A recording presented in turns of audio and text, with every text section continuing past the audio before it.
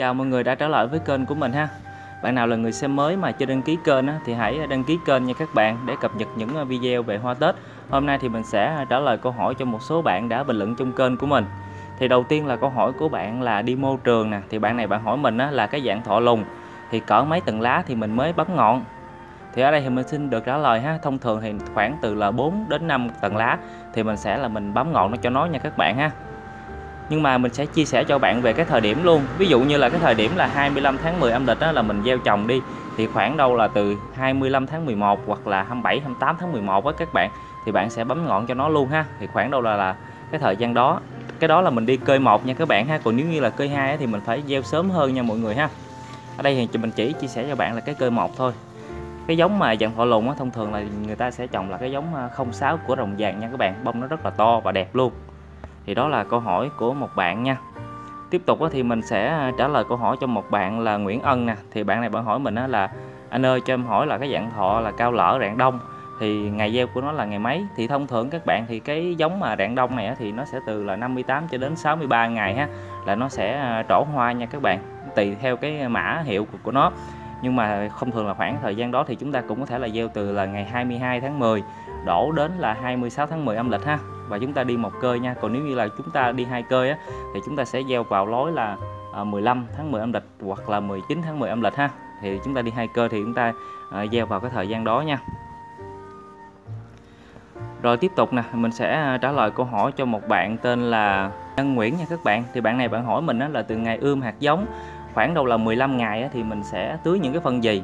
Thì trước đó thì mình đã chia sẻ rồi, nếu như là các bạn có điều kiện thì các bạn hãy à, tưới những cái dòng phân là hữu cơ ha, thì nó sẽ rất là tốt.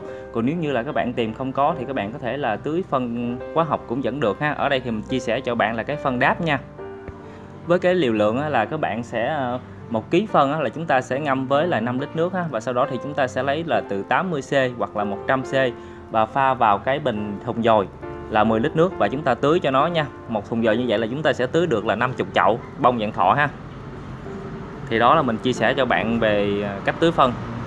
Câu hỏi của bạn là nhân nguyễn nha. Tiếp tục mình sẽ trả lời cho bạn là tính lam nè.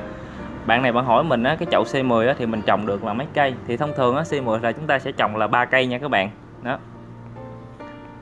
Rồi tiếp tục á, là mình sẽ à, trả lời cho một bạn tên là Trâm Dương ha bạn này bạn hỏi mình á, là một cơi tầm ngày mấy thì mình sẽ bấm đọt? Thì đối với là một cơi hình như lúc câu hỏi ban đầu thì mình đã chia sẻ rồi thì khoảng đâu là lối à, 26 tháng 11 hoặc là 28 tháng 11 ha là mình sẽ bấm cho nó cái cơi một nha các bạn.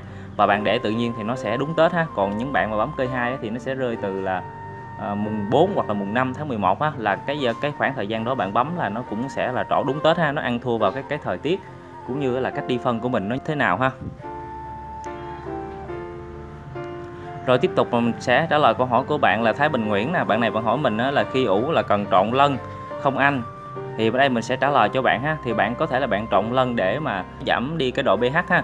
Rồi khi mà mình trộn lân thì mình sẽ không có ủ trichoderma nha các bạn. Mà khoảng đâu là 15 hoặc là 16 ngày sau thì mình mới sử dụng cái là trichoderma rồi mình tưới cho nó nha. Đó, mình lưu ý cho các bạn vậy. Còn mà cái bạn mà lọc 21 nè, bạn này bạn hỏi mình là cái cao lỡ thì mình gieo ngày mấy? Để kịp 23 thì thông thường thì mình sẽ gieo vào cái lối là 20 tháng 10 ha. Thì bạn à, gieo khoảng thời gian đó thì nó sẽ đúng vào ngày 23 Tết nha các bạn.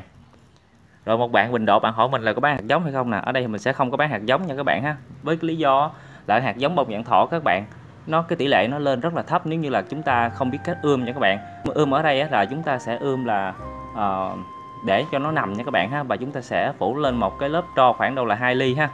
Thì nó mới là tốt nha các bạn. Rồi thì đó là một số câu hỏi của mấy bạn đã hỏi mình ha. Video sau thì mình sẽ cố gắng mình sẽ trả lời hết ha.